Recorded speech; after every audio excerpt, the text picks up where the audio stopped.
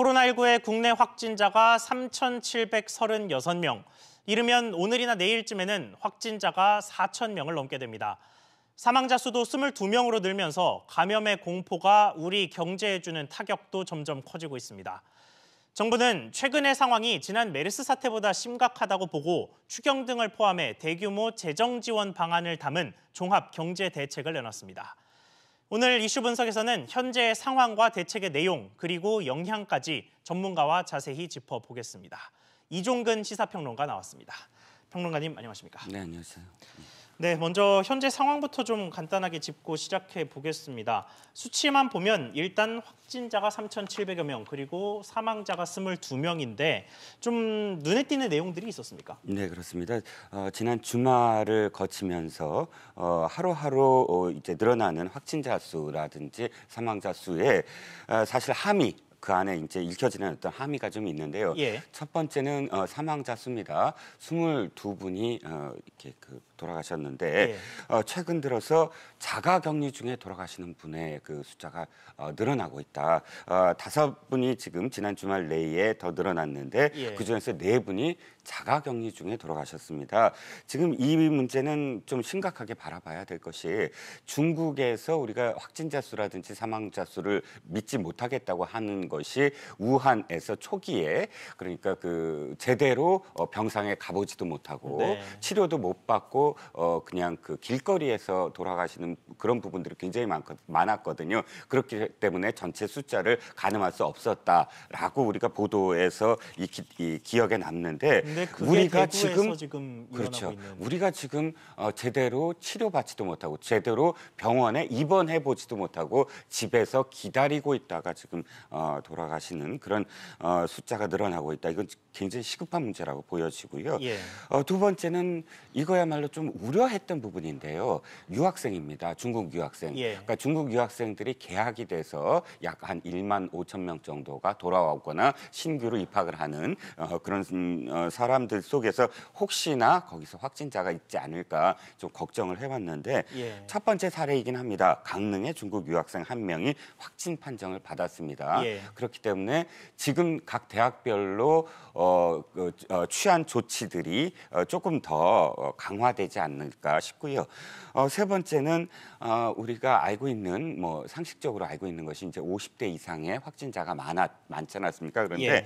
어, 지금 20대 확진자가 1000명 가까이 된다. 음. 그리고 어, 어제는 생후 45일 된 아기 환자가 확진자가 아, 생겼습니다. 그래서 어, 20대 물론 이제 어, 대부분이 신천지 교인으로 알려졌지만 예. 어쨌든 어, 20대나 10대에 좀 방심했던 것도 사실이거든요. 그래서 어, 그 부분이 좀 눈에 들어오고요.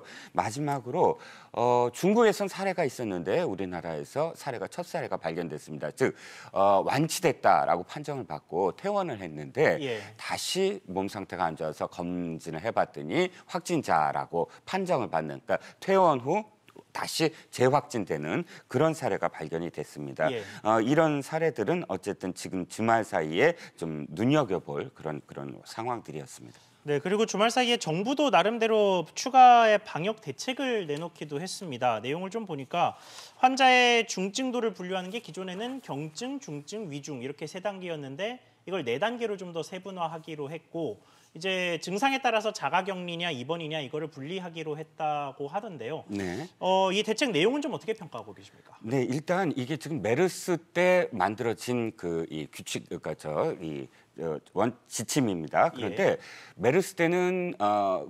다 아시는 바와 같이 어, 전파 속도는 느렸지만 치사율이 좀 높았거든요 네, 30%가 상대적으로. 그렇기 때문에 모든 환자들을 경증부터 초기 단계부터 음압병실에 모두 다 아, 이제 그 배치를 하, 하는 그것이 이제 지침이었는데 예. 지금은 하루에 500명 이상의 환자가 늘어나고 있고 또 이것이 대구 경북 지역의 어, 중 어, 중점적으로 예, 집중되다 보니까 어, 지금 도저히 어, 대구 경북 지역에 있는 병상만으로는 소화가 되지 않고 좀 전에도 말씀드렸지만 집안에서 기다리다가 어, 이렇게 변을 당하시는 분들이 늘어나기 시작하지 않았습니까? 예. 그렇기 때문에 우리도 이제 중국처럼 돼야 된다. 중국이 어, 하루 그러니까 그 며칠 만에 한 열흘 만에 천 개 병상을 늘렸습니다. 예. 그때만 하더라도 우리가 봤을 때 아니 저건 시설도 사실 음압병실도 아니고 예. 시설을 저렇게 조악하게 해서 어떻게 환자들을 배치를 할까 했는데 도리어 지금은 그렇게 해야 된다. 경증 환자들은 아예 생활 뭐 센터 뭐 이름 이름이야 어찌 됐든 간에 어, 급하게라도 뭔가 아, 다시 격리하는 어, 격리해서 조치를 하는 그런 병실을 만들어야 된다라는 목소리가 높아지고 있고요. 어, 이렇게 그 세분화되는 어떤 이유는 뭐냐면 우리가 좀 더 이제 치료에 중점을 두겠다. 네. 처음에는 방역 그러니까 격리의 초기 단계에서도 격리에 이제 중점을 뒀다면 이제는 어, 이 중증 이상의 위중한 환자들을 집중적으로 치료를 하고 경증 환자들은 일단 음압병실이 아니더라도 격리해서 치료를 하는 어, 그런 그 이 시스템으로 바꿔야 된다. 메르스 때의 지침을 바꿔야 된다라는 목소리가 높아졌는데 지금 정부는 거기에 대응을 하고 있는 것으로 보여집니다. 네, 그게 그 대책이 한 발만 빨랐다면 살릴 수 있는 사람들도 좀 있었을 것 같다는 아쉬움이 좀 들기는 합니다만 어, 다음 경제 쪽 대책으로 좀 넘어가 보겠습니다. 지난주에 이제 종합 경기 대책이 좀 나왔는데 추경이 포함이 되기는 했습니다. 그러면 이 돈을 어떻게 쓰겠다는 얘기인가요? 일단 어, 추경이 어, 뭐한 10조 가량 뭐 지금 어, 아직 확정되지는 않았습니다. 예. 투 플러스 되는 것으로 지금 보여지고요. 이미 뭐 4조 원, 9조 원에서 16조 원을 어, 지금 어, 배치를 했습니다. 그래서 추경 10조 정도를 지금 추정을 해보면 약 26조 원 정도의 돈이 이제 추가되는데 어, 처음에는 이제 방역 목적이었습니다. 예. 일 1차적으로 들어간 4조 원 정도는 어, 방역 목적 예비비 그다음에 지자체 예비비 를 동원해서 야당이 이제 주장했던 게 추경을 얘기하지 말고 먼저 예비비부터 집행을 하라라는 얘기였는데 예. 이미 예비비는 어, 많이 투여가 됐습니다. 투여된 돈은 어, 초기에 이제 방역 대책들, 방역 목적 예비비라든지 또는 초기에는 사실 LCC 항공이라든지 네. 또는 어, 그 이 여행사들이 아, 굉장히 힘들었어요. 지금 그렇죠. 물론 지금도 힘듭니다. 힘든 정도가 아니라 이제 곧 부도 나는 도미노가 부도 도미노가 이루어진다고 하는데 어쨌든 초기에 들어간 돈들은 거기에 많이 들어갔고요. 지금 이차적으로는 정부 발표에 따라서 들어가는 돈들이 어 약간 좀 전환됐어요. 방역 이외에 지금 소비 진작 그러니까 경기 진작 경기를 이제 그 활성화되는 어, 그런 비용으로 소비 쿠폰이라든지 또 임대료 인하액을 50% 세액 공제한다든지 예. 또 어, 승용차 개별 서비스 인하, 인하, 개별 서비스 인하는 이미 끝났는데 그것을 다시 이제 3월부터 5월까지 연장을 한다는 얘기입니다. 또 뭐 상공인 어, 뭐 대출이라든지 이런 부분들에 대해서 어, 일단 그 경기 활성화 대책을 어, 긴급히 마련을 했고 추경까지 포함을 한다면 사실상 좀더 어, 많은 부분에 있어서 경기 활성화에 그런 그 투여될 가능성이 더 높아 보입니다. 네, 그리고 지금 추경 방향을 살펴보면 지금 저 평론가님께서 말씀하신 것처럼 이게 뭐 방역 대책이라기보다는 특히나 좀 경기 진작, 경기 부양 뭐 이런 의도가 좀 있는 것으로 읽히는데 어, 우리 경제에 타격이 아무래도 좀 심상치 않기 때문이라는 인식이 깔려 있는 것 같습니다. 구체적으로 좀 우리 경제 코로나19의 타격이 얼마나 될 거라고 보십니까?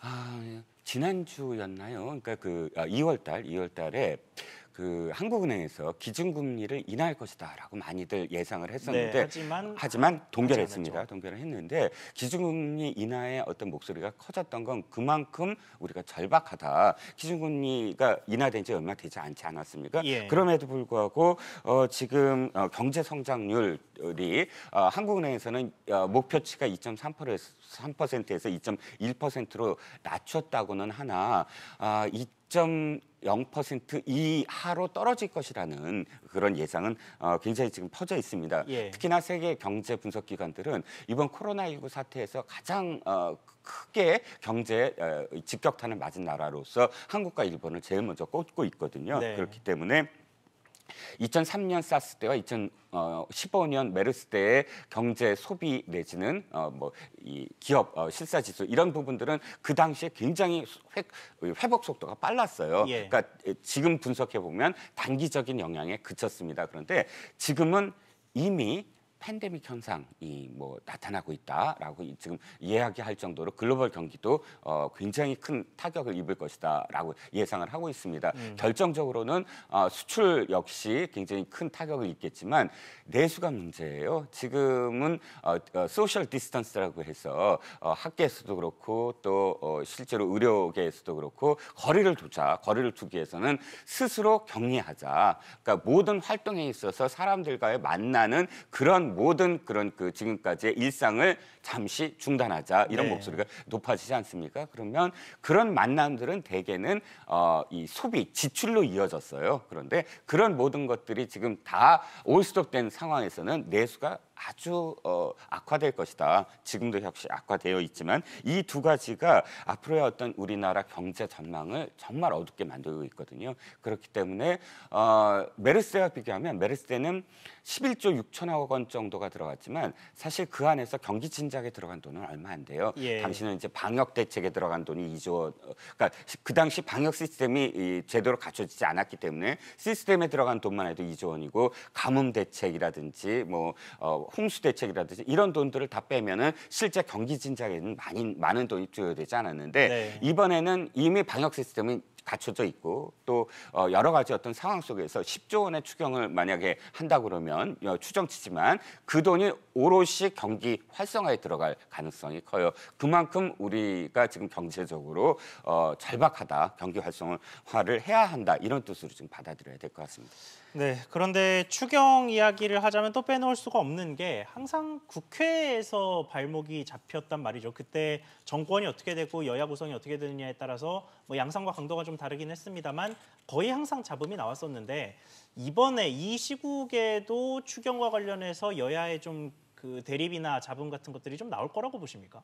일단 추경 이야기가 맨 처음 나왔을 때 어, 언제나 그렇듯이 야당은 굉장히 어, 경계를 했습니다. 예. 왜냐하면 다른 추경과 다르게 지금 선거를 코앞에 두고 예. 있거든요. 예. 선거를 코앞에 두고 추경을 한다는 건 곧 어, 지역 예산으로 들어가면서 선거에 집권 여당이 유리하게 만드는 게 아니냐 이런 그 시각이 충분히 있었습니다. 그런데 지금 어, 그런 어, 시각이 이제 잡혀진 건 첫 번째는 어, 대구에서 어, 이제 그 31번 학, 환, 환, 확진자가 아, 신천지 교인으로 발견 어, 저 발견되면서부터 어, 하루하루 한 수백 명씩 지금 늘어나고 있지 않습니까? 예. 실제로 어, 대통령이 어, 여야 어, 대표 회담을 하면서 어, 추경 얘기를 했는데 어, 어, 제1야당 대표인 황교안 대표도 크게 반대를 하지 않았습니다. 음. 그러니까 어, 제가 드린 말씀 뭐냐면 지금의 그 위중한 상황을 야당도 충분히 지금 받아들이고 있고 추경 자체를 뭐 비판하거나 반대하지 않는데 다만 전체적으로 액수 그러니까 이제 그 어디에 어떻게 쓰일 것인가 그것은 철저히 보겠다라는 정도의 입장입니다. 즉 어, 추경이 그 어느 때보다 사실은 어, 빠른 시간 내로 야당이 어, 뭐, 이, 통과시켜 줄 것으로 지금 예상이 되고 있습니다. 네, 알겠습니다. 그리고 앞서 나왔던 정부의 경기부양 종합대책에 포함돼 있던 언급하셨던 내용인데요. 고통을 분담하자는 차원에서 이제 건물주 그리고 집주인들이 임대료를 아예 안 받거나 혹은 뭐 일부를 깎아주겠다 뭐 이런 네. 식으로 나오는 뭐 이른바 착한 임대인 운동 뭐 이런 것들이 좀 벌어지고 있는데 네.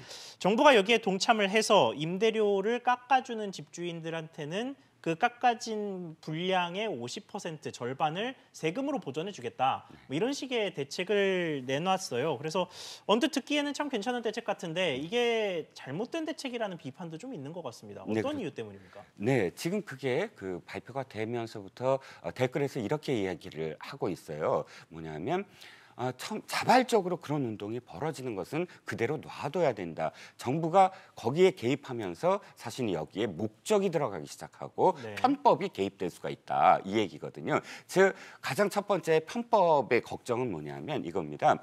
정부는 6개월 어, 최근 6개월 동안 소상공인에 해당하는 임차인의 임대료를 내리는 임대인 소득을 인하액과 무관하게 50%는 이제 소득세나 법인세에서 어, 경감해 주겠다. 뭐 이렇게 발표를 했습니다. 했습니다. 예. 근데 여기서 어, 문제가 되는 건 뭐냐면 그러면 임대인과 임차인이 서로 담합을 해서 어, 마치 그렇게 한 것처럼 꾸며갖고 음. 돈을 임대인에게 이렇게 그 보전해주는 그런 편법이 생겨날 수도 있다. 그것은 걸러내지 못하는 경우도 꽤 있을 수가 있는 것이고요. 예. 또 지금 이 모든 문제의 그 목적은 뭐냐면 임차인들이에요. 힘든 건 임차인이니까 그렇죠. 임차인들을 어떻게든 도와주자라는 목적인데 도리어 이것이 어떻게 지금 변질될 수가 있냐면 어 이게 그 임대인 그러니까 이 세를 많이 주는 임대인일수록 사실은 경감이 훨씬 더 많이 될 수가 있다. 그렇겠죠. 그러니까 목적과 다르게 물론 임대인도 힘든 분들도 있을 거예요. 당연히. 그렇지만 어, 지금 우리가 왜 그걸 하느냐에 대한 목적이 과정을 거치면서 결과가 다르게 나타날 수 있는 그런 부분들이 있고요. 또 이제 소상공인이라는 어, 표현이 이제 소상공인의 규정이 어떻게 되느냐 그러면 소상공인 그러니까 이월 매출 그럼 11억 이하는 어떻게 되느냐 또는 중견업체들은 중견업체들대로 우리도 지금 너무 힘들다 뭐 이런 네. 그러니까 소상공인이라는 어떤 표현 그 그 귀 범위 내에서의 서로 간의 또 그- 그런 어떤 그런 그 서로 간의 이익 때문에 어, 목, 볼매 목, 목소리가 나오는 부분도 있고 하니까 정책이 나오자마자 지금 굉장히 여러 군데에서 잡음 또는 우려의 목소리가 네. 나오고 있는 겁니다. 그렇군요. 자, 그리고 다음 이야기로 좀 넘어가 보겠습니다. 오늘부터 대정부 질문이 시작이 되는데요. 여기서 이제 좀 무슨 이야기가 나올 것으로 전망이 됩니까? 일단 코로나19 사태가 아니었다면 야당들은 아주 매섭게 여러 가지 어떤 정책 실패들, 경제 문제라든지 또는 기타 여러 가지 이 정부의 정책 실패를 매섭게 아마 꾸짖었을 겁니다. 어, 총선을 앞두고 있으니까 더군다나 마지막 기회였겠죠. 예. 근데 이제 일단 코로나19 사태가 벌어지면서 아마도 거의 모든 뭐 정치, 외교 분야, 경제 분야, 사회 분야 다 코로나 19 사태와 관련돼서 정부의 정책, 초기 대책이 과연 옳았느냐, 그리고 지금이라도 지금 대응책들이 제대로 되고 있느냐 이런 부분에 대해서 아마도 많은 어, 부분 또 질문을 하고 또 어, 대응책을 어, 따져 물을 것으로 지금 예상이 되고 있죠. 그렇군요. 알겠습니다. 그리고 코로나19 대응이 좀 소극적이었다는 비판을 받고 있던 WHO도 결국 지금 위험도를 매우 높음으로 올렸고 앞서 말씀하셨던 것처럼 그 중에 가장 위험한 국가들을 꼽으라면 중국과 우리나라와 일본 요 3개국을 들 수가 있는 상황일 텐데요. 그렇다면 앞으로 전반적으로 봤을 때 우리나라에서 필요한 대책이 있다면 어떤 것들이 있겠습니까? 뭐 여러 가지 대책이 있을 텐데 저는 어, 조금 장기적으로 봐야 되는 대책을 좀 말씀드리고 싶습니다. 예. 저- 지금 3개국을 말씀하셨는데 어, 사실은 국- 어, 전 세계에서는 지금 두 개국을 더 추가로 걱정을 하고 있어요. 이탈리아와 이란입니다. 음. 예. 이유는 이겁니다. 이탈리아는 세계적으로 세계적인 관광지예요. 그러다 보니까 모든 수익을 다 관광에 의존 하고 있습니다. 예. 그러니까 어, 특히 유럽 지역과 인접해 있어요. 그러다 보니까 이탈리아가 지금 어, 굉장히 확진자 수가 늘어나고 있거든요. 기하급수적으로 늘어나다 보니까 유럽 전 지역이 지금 공포에 휩싸여 있는 거예요. 물론 독일이라든지 또 어, 기타 오스트리아라든지 이런 국가에서도 확진자가 늘어나고 있지만 이탈리아의 확진자가 곧바로 확산될 것이다. 유럽 전역을 이런 공포가 있고요. 실제로 지금 확진자 속도가 굉장히 늘어나고 있습니다. 네. 이란은 중동입니다. 이란은 시아파의 성지가 있어요. 지금 이란이 그러니까 쿠웨이트라든지 바레인이라든지 이런 국가에서 어, 지금 어, 비행기를 금지한다든지 수입 그이 입국 규제를 하는 이유가 시- 이 사우디가 또 순위파의 성지라면 이- 이쪽 시아파의 성지이기 때문에 시아파 신도들은 일년에몇 번씩 가야 돼, 꼭 가야만 되는 그런 곳들이에요. 네. 그러니까 중 이란은 중동 지역의 확진자 수를 늘리는 하나의 발원지가 지금 될 수가 있는 것이거든요. 그럼 중동 지역과 유럽 지역 그리고 어제는 미국에서 어, 원인을 알 수 없는 감염 경로를 알 수 없는 첫 사망자가 나왔어요. 네. 이런 미국 대륙까지 포함을 하면 전 세계적으로 사실 IMF 때나 혹은 뭐 글로벌 금융 위기 이상의 어, 그 글로벌 경기 이저 경기 침체. 불황이 경기 네. 침체가 이루어질 수 있는 어, 상황이라는 것이죠. 그 사스와 메르스 때는 비교할 수 없을 정도의 어떤 경기 침체를 바라만 바라봐야 된다는 겁니다. 그래서 정부는 지금 우리나라 현재 어떤 상황들의 대책을 지금 급급한 상황이긴 하나 어, 근본적으로는 지금 전체적인 글로벌 금융 위기, 글로벌 경제 위기에 대해서 어, 미리 점검을 하고 우리가 어떻게 지금부터 옥죄일 것은 옥죄고 또 어, 대책을 마련해야 할 것인가에 대한 고민을 지금부터 시작해야 된다고 봅니다. 네, 알겠습니다. 오늘 말씀 여기까지 듣겠습니다. 지금까지 이종근 시사평론가와 이야기 나눠봤습니다. 오늘 말씀 감사합니다.